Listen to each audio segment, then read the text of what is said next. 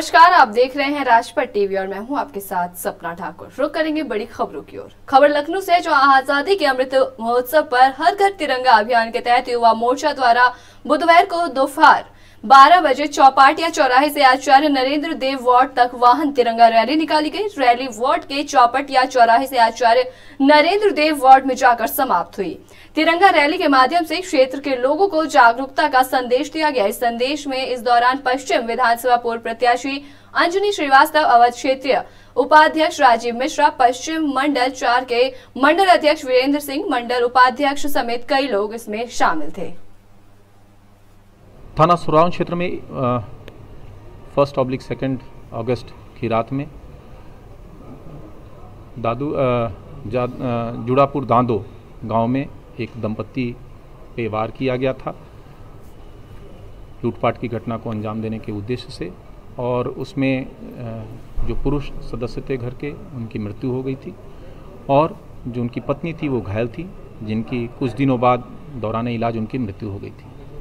प्राप्त जानकारी पे तत्काल पुलिस टीम वहाँ में मौके पे पहुँची। अज्ञात के विरुद्ध अभियोग पंजीकृत हुआ था। इस घटना के अनावरण में कई टीमें गठित हुई। उन्होंने विभिन्न आयामों पर इस पर काम किया और इसमें पुलिस टीम को सफलता मिली है और इस घटना में शामिल एक अभियुक्त गिरफ़्तार किया गया, जिसका नाम लवकुश पासी है, जो जनपद कौशाम्बी का रहने वाला है। और इससे पूछताछ में जो तथ्य सामने आए हैं, उसमें इस घटना को अंजाम देने में तीन सदस्य थे, जिसमें लवकुश पासी इसके साथ ज्ञानचंद तथा उमेश उर्फ़ मोटू। ये दोनों भी जनपद कौशाम्बी के रहने वाले थे।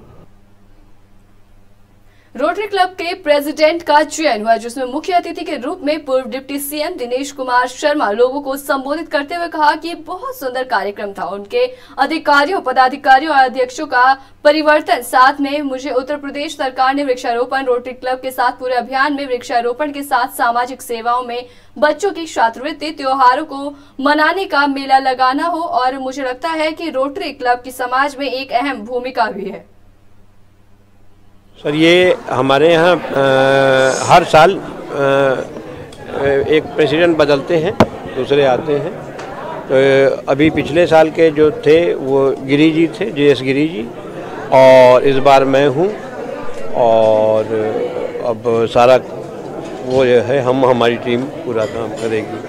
तो लगातार कोरोना काल में भी आम जनता की मदद करता रहा है। हाँ। और अब आगे किस तरह से सर, देखिए, हम लोग का मेरा मेन फोकस है वृक्षारोपण। और क्योंकि अगर आप लोग देख रहे होंगे, इधर लगातार टेम्परेचर बढ़ता ही जा रहा है। और ये वजह यही है कि पेड़ नहीं है, गर्मी बहुत बढ़ रही है। तो जो मेन मेरा फोकस है वृक्षारोपण और लिटरेसी पे। हाँ हम लोग डिप्टी सीएम ब्रजेश पाठक ने कल्याण सिंह कैंसर संस्थान का औचक निरीक्षण किया। डिप्टी सीएम के निरीक्षण के दौरान कैंसर संस्थान में हड़कंप मच गए और जल्द ही 200 बेड पर कैंसर मरीजों की भर्ती के उन्होंने निर्देश दिए। डिप्टी सीएम ने वार्ड से लेकर ओपीडी तक का जायजा लिया। भर्ती मरीजों से भी बातचीत करके स्वास्थ्य सेवाओं की जानकारी ली। अपर मुख्य सचिव, चिकित्सा शिक्षा को डॉक्टर कर्मचारियों के साथ दूसरे संस्थानों को जुटाने के भी निर्देश दिए गए। माननीय प्रधानमंत्री जी का जो आह्वान था, कोरोना के समय भी जो आह्वान था कि लोग कोरोना कर्फ्यू का पालन करेंगे, लोगों ने माना। प्रधानमंत्री समय समय पर जो आह्वान करते उसका एक प्रभाव दिखता है। आज़ादी के अमृत महोत्सव में उन्होंने हर घर में तिरंगा लगे। ये जाति, धर्म, संप्रदाय, क्षेत्र और दलों के दलदल से ऊपर उठकर एक राष्ट्रीय एकता का सबसे बड़ा शंखनाद है। और अब हर घर से तिरंगा निकलेगा, हर घर से आज़ादी का ताराना निकलेगा। अब हर घर से अफजल निकले वाला जो उद्घोष है वो नहीं। अब हर घर में राष्ट्रीय एकता और समन्वय का शंखनाद होगा। वही पूर्व डिप्टी सीएम दिनेश शर्मा का बयान सामने है जहाँ प्रधानमंत्री मोदी के आह्वान के बाद घर घर तिरंगा में प्रधानमंत्री मोदी के आह्वान का प्रभाव देश में दिख रहा है। उन्होंने कहा कि देश में हर घर तिरंगा निकलेगा, तिरंगा हर घर से आज़ादी का तराना निकलेगा। हर घर से अफसल निकलेगा, अवरोधेश नहीं है। अब घर में तिरंगा लहराता हुआ दिखेगा, अब हर घर में राष्ट्रीय एकता का शंखनाद होगा। मुहर्रम के जुलूस में भी तिरंगा दिखा है। आज़ादी के पिछहत्तरवे महोत्सव में हर घर तिरंगा दिख रहा है।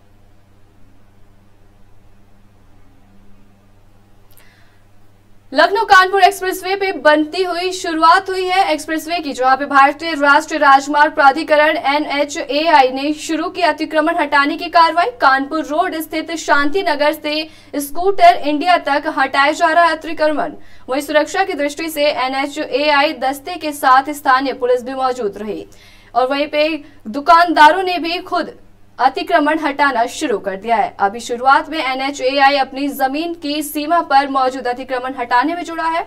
वहीं कानपुर रोड हाईवे पर स्कूटर इंडिया के आसपास कार्रवाई चल रही है। सुहेल देव भारतीय समाज पार्टी के अध्यक्ष ओम प्रकाश राजभर ने बिहार में नीतीश कुमार की नई सरकार से जाति जनगणना की मांग उठाई है। बता दें कि ओम प्रकाश राजभर ने मांग की है कि जेडीयू, आरजेडी और कांग्रेस जाति जनगणना में बीजेपी को बाधक बताते थे। अब इन सभी पार्टियों की सरकार है तो उन्हें जाति जनगणना करानी चाहिए। राष्ट्रीय जनता दल और जदयू जदयू गठबंधन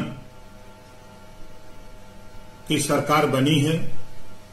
कल तक राष्ट्रीय जनता दल, कांग्रेस और लेफ़्ट और जदयू के लोग ये कहा करते थे कि भारतीय जनता पार्टी बाधक है, जातिवार जनगणना नहीं करने दे रही है। अब तो आप स्वतंत्र हो गए हैं। एक तरफ़ जदयू, राजद, कांग्रेस और लेफ़्ट की सरकार है।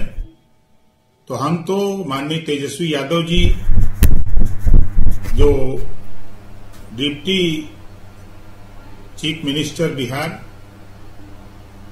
और चीफ मिनिस्टर माननीय नीतीश जी से कहूँगा कि अब तो आप लोग स्वतंत्र हैं थाना बाज़ार खाला में अमृत महोत्सव के अवसर पर बृहद साफ़ सफ़ाई की गई। टीसीपी वेस्ट और एडीसीपी चिरंजीव नाथ सिन्हा के आदेश पर परिसर में साफ़ सफ़ाई की गई। एसीपी बाज़ार खाला के नेतृत्व में इंस्पेक्टर बाज़ार खाला विनोद यादव ने खुद इसके साथ कोतवाली परिसर में साफ़ सफ़ाई करवाई। महिला हेल्प डेस्क पिंक बूथ की भी साफ़ सफ़ाई करवाई गई थी। वही अगली खबर, प्रयागराज से है जो देश की आज़ादी की पिछहत्तरवीं वर्षगांठ के मौके पर पूरे देश में आज़ादी का अमृत महोत्सव मनाया जा रहा है। तो इसी के तहत स्वतंत्र दिवस के मौके पर पीएम नरेंद्र मोदी के आह्वान पर हर घर तिरंगा अभियान भी चलाया जा रहा है। इसी कड़ी में गुरुवार को संगम नगरी प्रयागराज में प्रयागराज विकास प्राधिकरण की ओर से तिरंगा यात्रा निकाली गई। प्रयागराज विकास प्राधिकरण के उपाध्यक्ष अरविंद सिंह चौहान की ओर से ये तिरंगा यात्रा निकाली गई। बतौर तिरंगा यात्रा में मुख्य अतिथि कैबिनेट मंत्री नंद गोपाल गुप्ता, नंदी भी शामिल हुए। उन्होंने कहा कि 130 करोड़ भारतवासी हर घर तिरंगा अभियान को मना रहे हैं। ये अभियान अब एक जन आंदोलन बन चुका है। इस राष्ट्रीय पर्व को हिंदू, मुस्लिम, सिख और ईसाई सभी लोग मिलजुल कर मना रहे हैं। वही अगली खबर भी संगम नगरी प्रयागराज से है, जहाँ प्रयागराज यमुना पार के सोराव थाना क्षेत्र में घर के अंदर चोरी करने घुसे अभियुक्तों ने सोते समय पति पत्नी की हत्या करने वाले दो अपराधी कुछ ही दिन के अंदर बेमौत मारे गए। जिनका आज पुलिस ने घटना का खुलासा करते हुए बताया कि सोराव थाना क्षेत्र के जूड़ापुर दांदू गाँव में शिक्षक प्रेम प्रकाश पत्नी नीरजा की हत्या के बाद चोरी कौशाम्बी ज़िले के बदमाशों ने की थी। पुलिस ने मंझनपुर कौशाम्बी निवासी लवकुश पासी को गिरफ़्तार किया तो पूछताछ में पता चला कि चोरी और कत्ल के उनके साथ शामिल कौशाम्बी के ज्ञानचंद्र पासी उर्फ़ ज्ञान सिंह और उमेश उर्फ़ मोटू पासी की पिछले कुछ दिनों पहले ही मौत हो गई है। थाना सुरावन क्षेत्र में फ़र्स्ट ऑब्लिक सेकंड अगस्त की रात में दादू जुड़ापुर दांदो गाँव में एक दंपत्ति पे वार किया गया था। लूटपाट की घटना को अंजाम देने के उद्देश्य से और उसमें जो पुरुष सदस्य थे घर के, उनकी मृत्यु हो गई थी और जो उनकी पत्नी थी वो घायल थी, जिनकी कुछ दिनों बाद दौरान इलाज उनकी मृत्यु हो गई थी। प्राप्त जानकारी पे तत्काल पुलिस टीम वहाँ में मौके पे पहुँची। अज्ञात के विरुद्ध अभियोग पंजीकृत हुआ था। इस घटना के अनावरण में कई टीमें गठित हुई। उन्होंने विभिन्न आयामों पर इस पर काम किया और इसमें पुलिस टीम को सफलता मिली है और इस घटना में शामिल एक अभियुक्त गिरफ़्तार किया गया, जिसका नाम लवकुश पासी है, जो जनपद कौशाम्बी का रहने वाला है। और इससे पूछताछ में जो तथ्य सामने आए हैं, उसमें इस घटना को अंजाम देने में तीन सदस्य थे, जिसमें लवकुश पासी इसके साथ ज्ञानचंद तथा उमेश उर्फ़ मोटू। ये दोनों भी जनपद कौशाम्बी के रहने वाले थे। तो इसी तरीके की तमाम बड़ी खबरों से जुड़ने के लिए देखते रहिए राजपट टीवी। सबसे पहले भारत।